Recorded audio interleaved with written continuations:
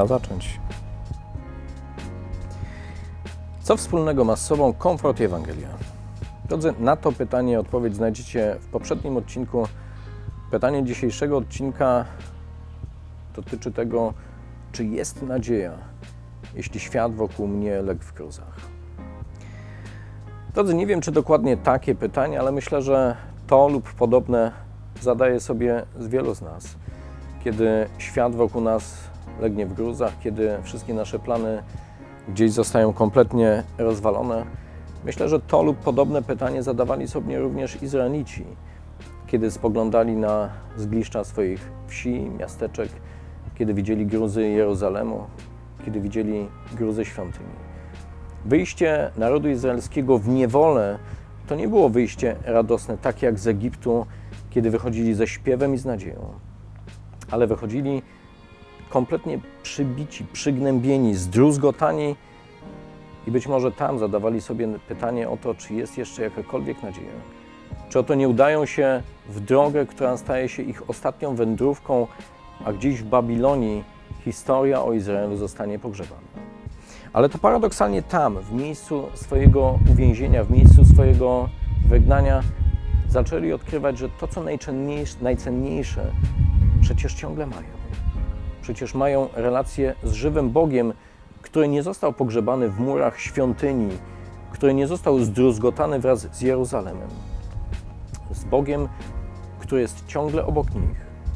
Ale wymagało to też od nich zupełnie nowego podejścia i nauczenia się relacji z Bogiem na nowo.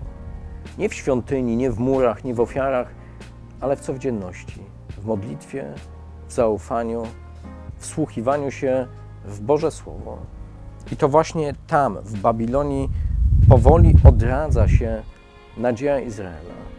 Nadzieja oparta nie na człowieku, nie na murach, nie na potędze, ale na tym, co najcenniejsze na relacji z żywym Bogiem. Tam też do Izraela dociera słowo mówiące o tym, że jest dla nich nadzieja, jest dla nich powrót, ale tam też pojawia się słowo mówiące o tym, że nadzieja jest nie tylko dla nich, że nadzieja jest dla świata. Że oto przyjdzie ten, który zmieni oblicze tego świata i tchnie nadzieję w serca każdego człowieka. I dlatego, drodzy, kiedy czytamy słowo z księgi proroka Izajasza, to niech i ono dla nas będzie takim przykładem tego, że przecież nawet w naszym życiu, jeśli wszystko legło w gruzach, to w gruzach nie legł Bóg. Ciągle jest żywy Bóg, który chce nas prowadzić. Nie zmienimy historii, ale zawsze możemy zmieniać przyszłość, ufając Bogu. I niech w tej drodze do ufności prowadzi nas Boże Słowo wyjęte z księgi proroka Izajasza.